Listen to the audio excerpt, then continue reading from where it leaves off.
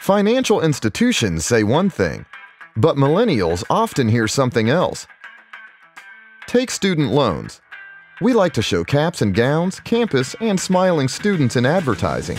But the social media conversation is often very different. An online ethnography study by Filene uncovered the dark side of millennial student loan debt. We say freedom. We say debt sentence. We say graduation. We say adulting. We say opportunity.